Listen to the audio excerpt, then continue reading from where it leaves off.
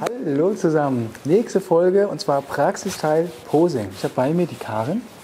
Und äh, die Karin habe ich, wie das heutzutage ist, ich habe sie übers Internet kennengelernt. Also wir kannten es vorher nicht. Ähm, ich habe Aufruf gemacht auf Facebook und die Karin hat sich gemeldet. Und mir war wichtig, dass jemand, äh, die Karin hat keine Modelerfahrung, das ist kein Model per se. Ich wusste vorher auch nicht, wie sie aussieht, ich wusste auch nicht, was sie anhat. Also ein ganz normales Shooting halt, wie man das so hat, quasi als privater Fotograf. Und was wir machen werden, ist eure Hausaufgaben, weil ich weiß, ihr habt das ja wieder nicht ordentlich gemacht, oder? Also für den Fall, dass du sie gemacht hast, brauchst du nicht weiter gucken. Wenn du sie nicht gemacht hast, dann äh, mache ich das jetzt für dich und ich zeige dir quasi, wie das aussieht. Und zwar filmt jetzt die ähm, FZ1000 und die werde ich jetzt nehmen, filmen und die Karin dazu bitten, so ein bisschen äh, halt eben sich zu bewegen. Und dann werden wir sehen, wie das aussieht, was gut aussieht, was nicht gut aussieht. Nochmal ganz deutlich, ich mache keine Posen, also ihr lernt jetzt nicht 37 Posen, weil es gibt das Buch Posen, Posen, Posen, kauft das, wenn ihr 1000 Posen auswendig lernen wollt, sondern ich zeige euch die Grundsätze, die wir in den ersten Videos besprochen haben, heute praktisch an der Karin. Also, ich stelle mich jetzt in die Kamera, ich werde jetzt ein bisschen zoomen und sie sich, wie gesagt, bewegen lassen und äh, wir gucken mal, ob das funktioniert. Schalten wir um. So, also, äh, ich habe ich eben gelogen, eine Pose machen wir doch. Und zwar, ich bin jetzt mit der Panasonic auf Weitwinkel 25 mm, haben wir gelernt, machen wir eigentlich nicht, aber mal guckt, gucken, wie das aussieht. Und die ist jetzt ungefähr Kinnhöhe von mir, also so, wenn ich sie ganz normal halten würde, wie Anfänger das machen, mache ich das. Äh, und danach wechseln wir ein bisschen mit Zoom und wir wechseln auch mal die Höhe. So, Karin, stell dich mal wirklich ganz normal ähm, frontal zu mir hin, Füße, Füße seitlich. Arme hängen lassen, genau. Das ist die eine Pose, die ihr bitte nie wieder macht. weil irgendwie unvorteilhaft, da könnt ihr eine Frau gar nicht hinstellen. Wir arbeiten jetzt mal ein bisschen daran. Ich arbeite mal jetzt nur mit der Karin und noch nicht mit dem äh, Objektiv und so weiter, Position, das machen wir danach. So Karin, äh, und zwar, ich stelle mich mal ein bisschen so, dass ihr mich seht, weil ich mache das gut, mache das vor.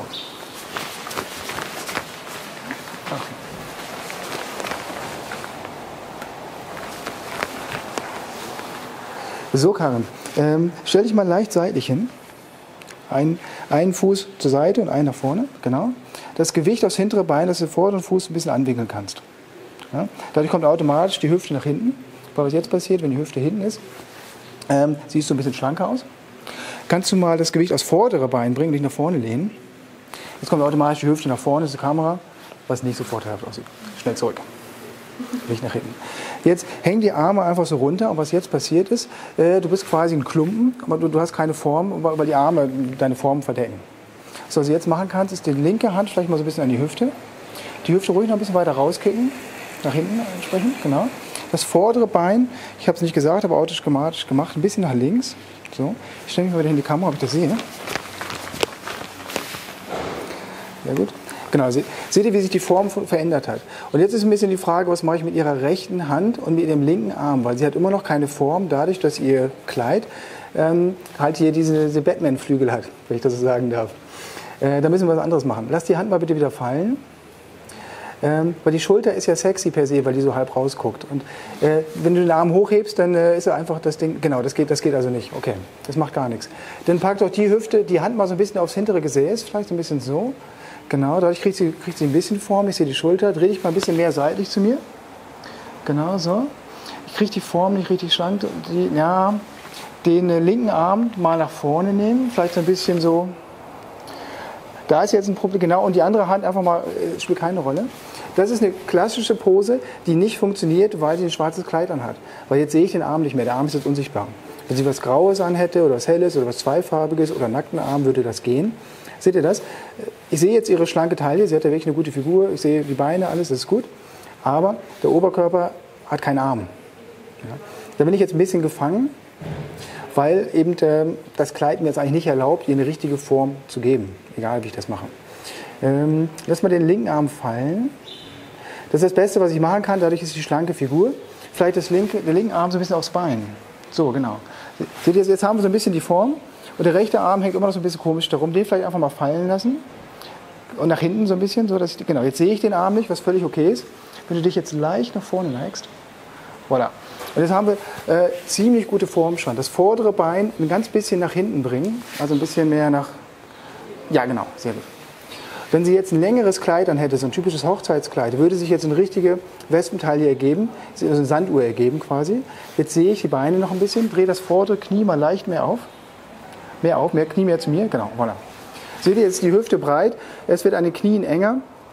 und geht an den Füßen wieder zusammen. Und je nachdem, wie sie jetzt das Bein dreht, bewegt das Knie mal so ein bisschen, mal ein bisschen rumwackeln. Seht ihr das? Wie sich jetzt die Hüfte und dieses, diese Sanduhr sich verändert. Stopp.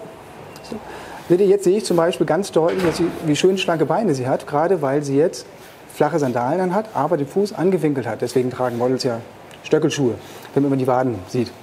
Äh, und jetzt sieht man das halt auch und man sieht nicht, dass sie gar keine Stöckelschuhe anhat. Okay, entspann dich mal. So, jetzt haben wir umgebaut. Die Kamera ist jetzt auf Kniehöhe, also wenn ich sie als Fotoapparat halten würde, würde ich sitzen quasi. Das ist typischerweise, Ganzkörperporträt mache ich typischerweise im Sitzen. Ihr seht, der Winkel ist ein ganz anderer. Dadurch sieht sie automatisch schon mal größer aus und damit automatisch schlanker, was Frauen meistens wollen. So, außerdem hat sie sich umgezogen. Jetzt sehen wir eigentlich nämlich genau das, was wir eben nicht sehen konnten mit dem Kleid.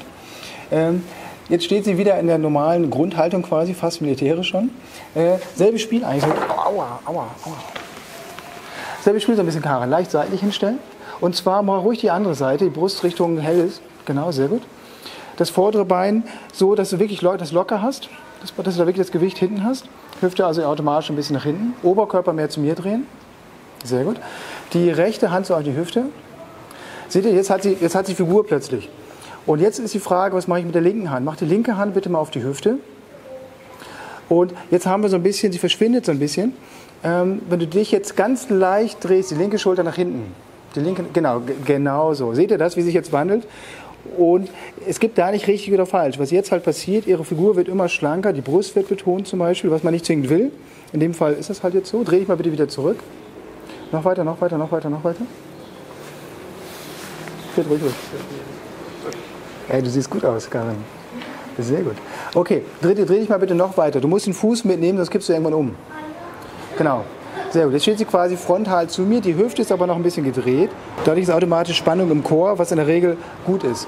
Und wenn du jetzt mal die rechte Hand fallen lässt, einfach fallen lassen, genau, dann hängt sie immer noch so, weil die Hüfte rausgedrückt ist, sehe ich immer noch diesen negativen Space quasi an ihrer Hüfte. Ich sehe immer noch die schlanke Figur. Äh, bring mal das vordere Bein mal so richtig breit, dass du so breitbeinig stehst. Ja? Ähm, das wäre jetzt so eher eine männliche Pose oder eine sehr, sehr starke Pose. Ich mache ja viele auch so Sportlerinnen. Für Sportler ist sowas teilweise noch gut.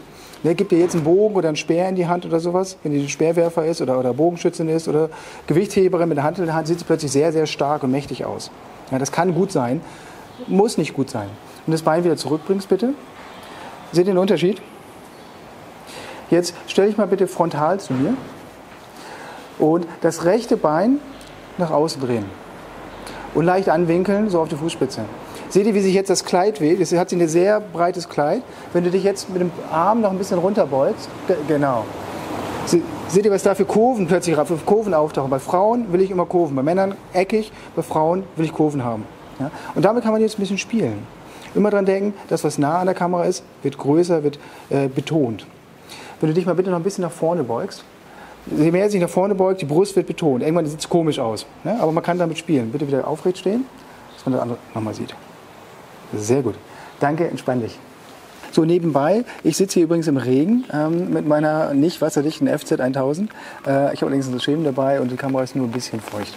So, also, ähm, selbes Spiel eigentlich so ein bisschen. Ich bin jetzt auf der FZ auf umgerechnet 70 mm. Ich sitze auf einer Straßenseite und ich hoffe, es kommen nicht so viele Autos. Äh, reden wir noch mal ein bisschen über Sitzen. Das Problem bei Sitzen mit Kleid ist jetzt, ich möchte nicht ähm, ihr unter den Rock gucken quasi. Trotzdem will ich irgendwie, äh, ich achte drauf. Äh, und Details schneide ich dann raus. Sorry, Jungs. Ähm, und äh, gleichzeitig will ich natürlich, dass sie ein bisschen Form und, und Kurven kriegt. So. Und so eine, äh, wie zeige ich das am besten? So eine typische Modelpose wäre halt, wenn du die Knie zusammenlässt und die Beine auseinander, genau, so richtig, richtig so Genau, sowas wie was eigentlich nur Frauen können, so richtig x-beinig. Das ist das Klassische.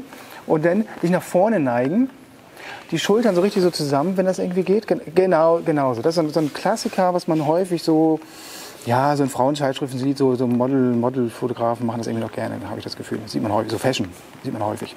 Was jetzt passiert, sie hat Form. Guck mal, ihre Schultern sind breit, die Hüfte ist schlank. Es wird durch die Arme, wird dein Blick gelenkt, quasi über die Arme bis zu den Füßen. Du wanderst, dein Blick wandert automatisch den ganzen Körper entlang. Und das will ich ja in der Regel. Ich will ja den Blick wandern lassen. Äh, Problem ist ein bisschen, wo soll er hin? Ähm, er soll irgendwo hängen bleiben. Dann müsste ich jetzt mit Licht arbeiten. Äh, wenn ich jetzt noch einen Blitz dabei hätte, würde ich halt zum Beispiel das Gesicht heller machen als die Füße. Und dann würde ich halt dafür sorgen, dass dein Blick halt eben zum Gesicht wandert. Ja, das kann ich jetzt mit Licht zusätzlich machen. Sehr gut. Äh, kannst du dich mal seitlich hinsetzen, vielleicht mit dem Rücken so gegen die Wand lehnen? Genau, gut. Ja, so, jetzt hat sie so richtig so, man sitzt halt einfach so irgendwie auf der Parkbank und hat gar keine Form. Wieder, wenn ich jetzt Form haben will, das Problem ist jetzt, die Füße sind dichter an der Kamera, haben wir gelernt, sind größer. Wenn ich jetzt Schuhwerbung machen will, ist das gut. Will ich in dem Fall nicht. Äh, also kannst du die Füße bitte hochnehmen, dass du wirklich seitlich zu mir sitzt. Nee, ruhig, ruhig, genau, damit, das genau, genau, genau, genau.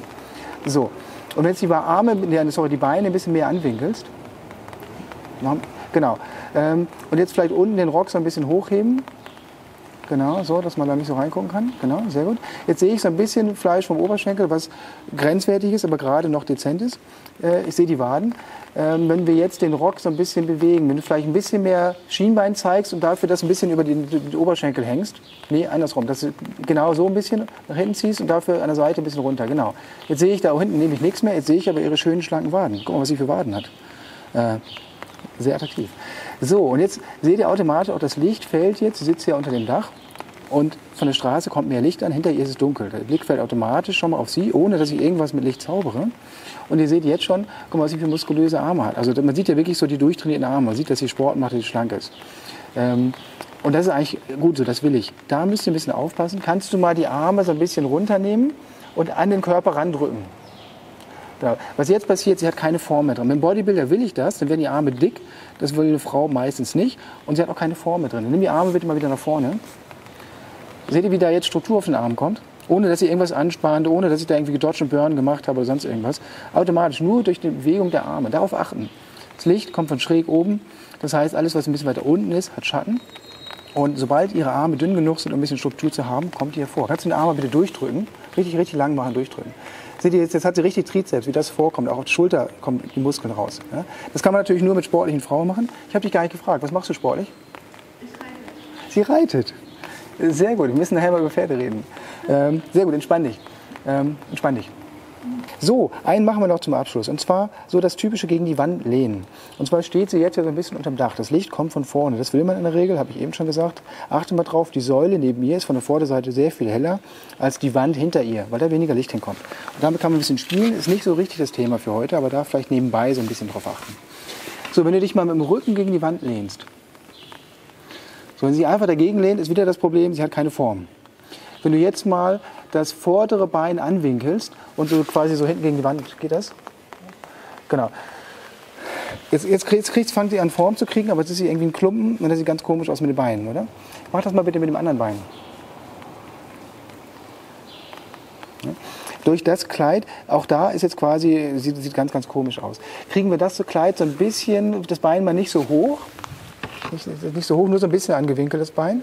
Und das Kleid so ein bisschen, genau.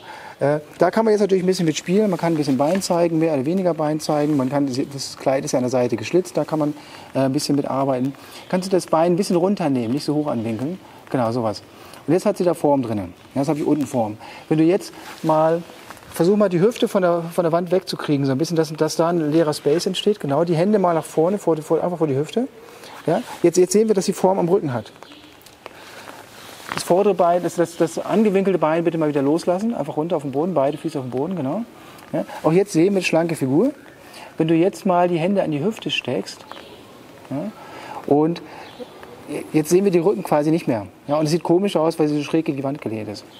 Stell dich mal, wie du denkst, dass du sexy aussiehst. Da verlange ich wieder Sachen von dir. Ne? Okay.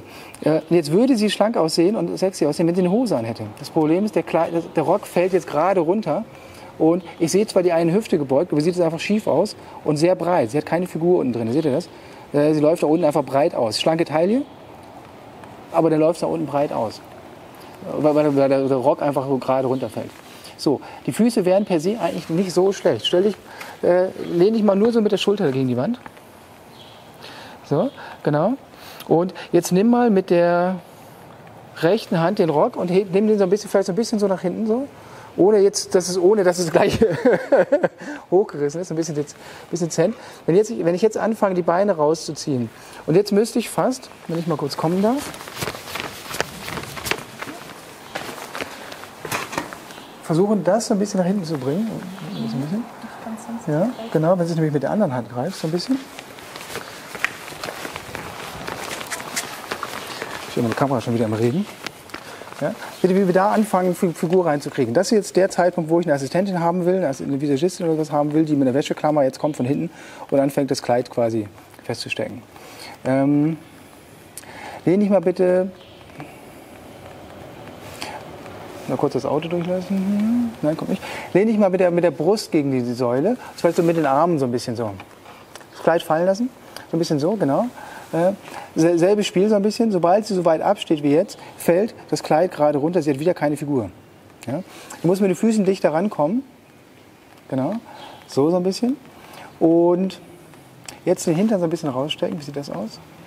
Voilà, jetzt haben wir, haben wir das Schöne. Und jetzt, jetzt ist so ein Trick.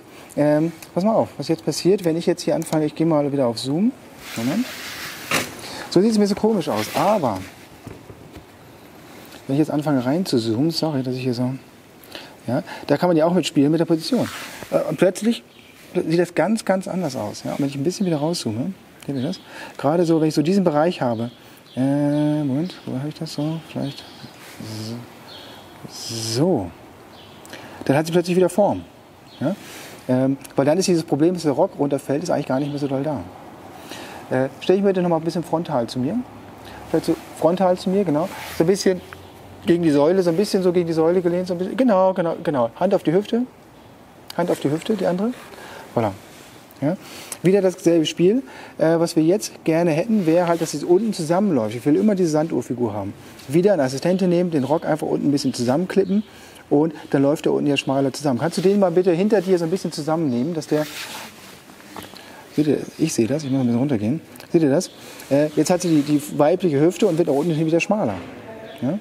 Wäscheklammer in rein und schon hat sie das. Also mit solchen, solchen Tricks spielen. Und jetzt versuch mal die Hüfte noch ein bisschen nach hinten zu bringen. Geht das? Ja, die Hüfte wird kleiner. Kannst du die mal nach vorne bringen? Kannst du mal nach, zu mir bringen, die Hüfte? Nee, andersrum aber nach vorne. Genau. Äh, ja. Und jetzt wieder nach hinten bitte, dass wir nicht das, das letzte Bild haben. Seht ihr, wie die Hüfte breiter und schmaler wird? Das wäre, wie gesagt, die aller, allerwichtigste Lektion. Ähm, darauf achten, dass dicht an der Kamera ist, wird groß. So, ich würde sagen, damit hören wir auf. Ähm, danke, du kannst dich entspannen.